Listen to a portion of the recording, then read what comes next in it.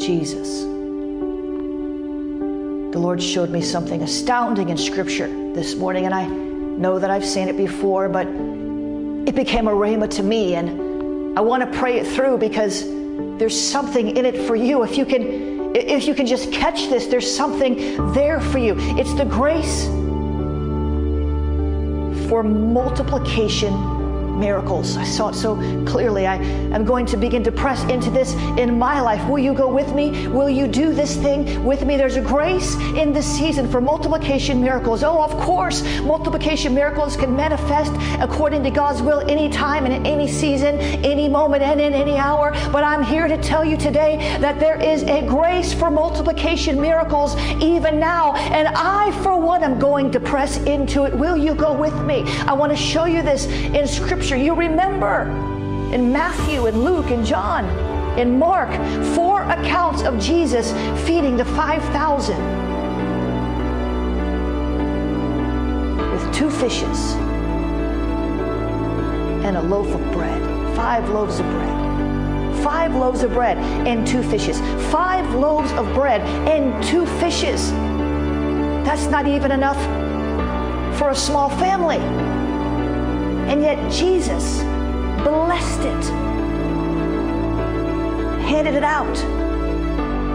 5,000 people were fed. 5,000 people were fed. And this didn't even count the women and the children. There were probably 15 or 20,000 people who were fed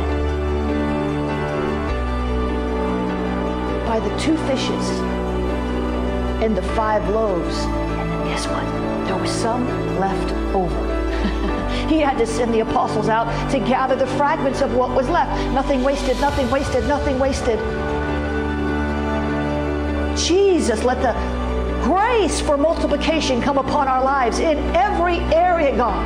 Oh, Jesus, I thank you that everything we put our hand to, oh, it not only prospers, but in this season, if we can catch a revelation, if we can stand in faith, Faith is the substance of things hoped for and the evidence of things not seen. If we can stand in that heart posture, looking with our spiritual eyes, we will put our hands to things that prosper, yes, but that multiply by magnitudes of thousands.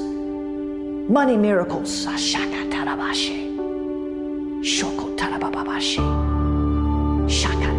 Exponential growth in businesses. Exponential a thousand percent year over year growth. It's going to happen for those who believe, for those who work diligently, for those who put their hand to the right plow.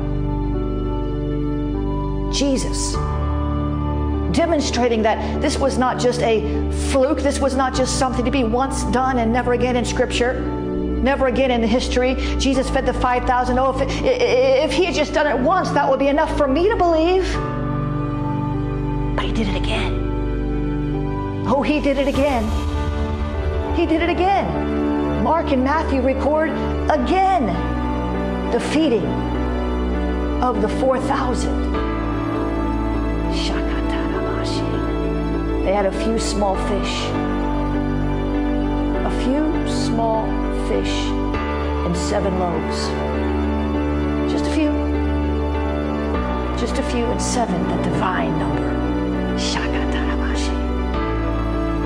4,000 were fed. And again, they only counted the men. There were women, there were children. It could have been 10,000, 12,000 people that were fed by a few small fish. They were small fish. They weren't even big fish. There were, there were small fish and seven loaves, the perfect number. I decree in your life that God has the perfect provision for you, and it's more than you can imagine. Ah, He's already planned for it, He's already readied it. He's already created what you need. It's already in your heavenly bank account, whatever it is you need. That multiplication anointing, there is grace for it in this season. Beloved, there is grace for it. Would you just believe the word of God today? Five times in Scripture, five times we see multiplication miracles. It wasn't just Jesus. Some will say, "Well, that was just Jesus." Well, well, well, that was just Jesus. You know, that was the that was the that was the New Testament ministry of Jesus, and we cannot expect that again today, beloved. I've seen it with my own eyes. But it wasn't just Jesus. How about the feeding of the hundred men? In 2 Kings chapter 4. And there came a man and brought a man of God, Elisha, bread of the first fruits, 20 loaves of barley and full ears of corn and the husk thereof. And he said, Give unto the people that they may eat. And the servant said, What? Should I set this before a hundred men? He said again, Give the people that they may eat. For thus says the Lord, They shall eat and shall leave thereof. So he set it before them, the 20 loaves of barley, just 20 loaves, just 20 loaves, and some corn. And they ate and they had leftovers. 100 men, 20 loaves of barley. And they ate until they were content, and they had leftovers.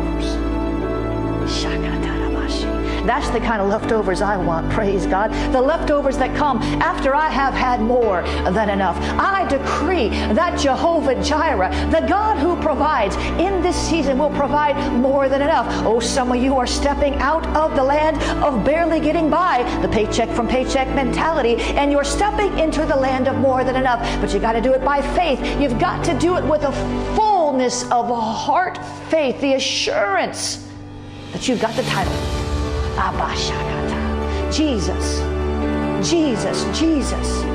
Jesus. No, if there were only three, I would believe it. Every word is established by two or three witnesses. If, if those were the only two or three that I found, I would say, that is enough for me. I shall put my faith upon this.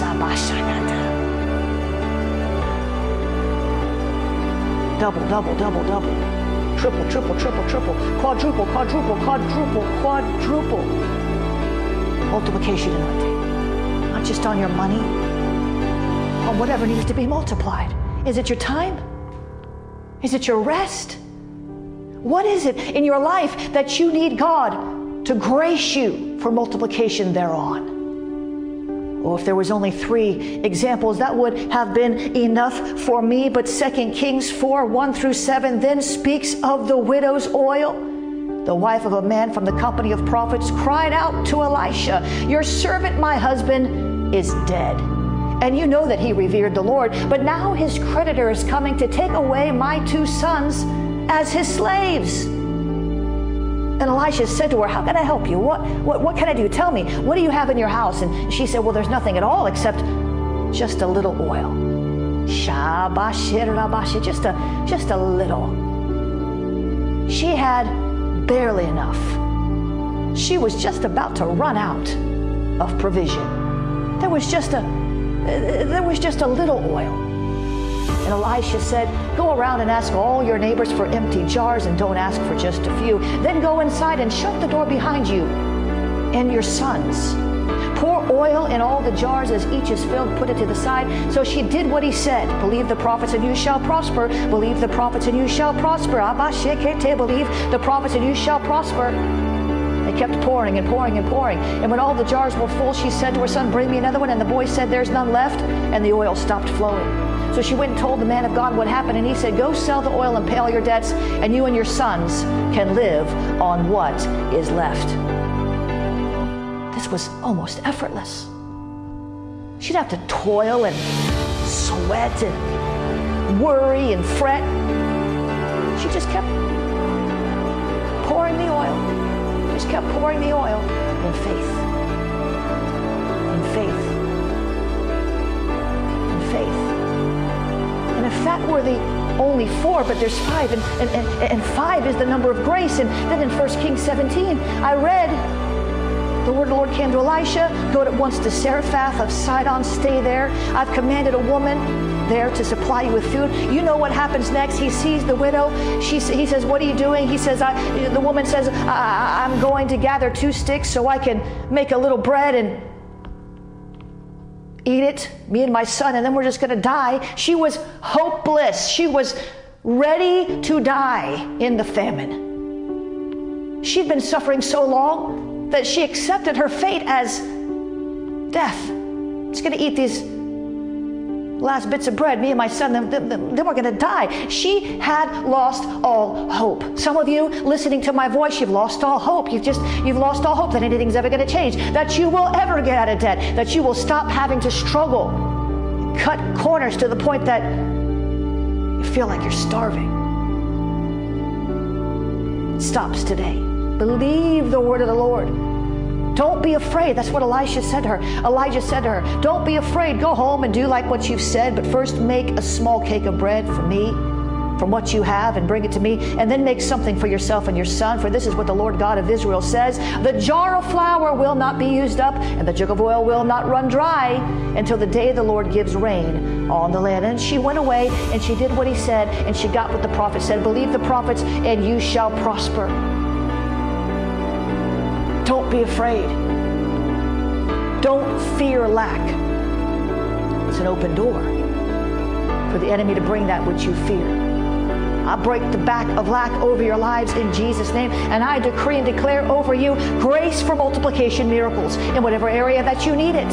Some of you, listen, you've got plenty of money. Some of you just need more friends. You've got no friends. You, you, you want friends, and, and, and God can multiply that in your life too. Whatever it is you need multiplied. In this season, there's grace. There's grace. There's grace for multiplication miracles. So, Father, we stand in faith today as one body, and we ask you, God, because we have not, because we ask not, or because we ask amiss, we ask you, God, in all sincerity, with a pure heart, God, multiply that in our lives that you want to multiply.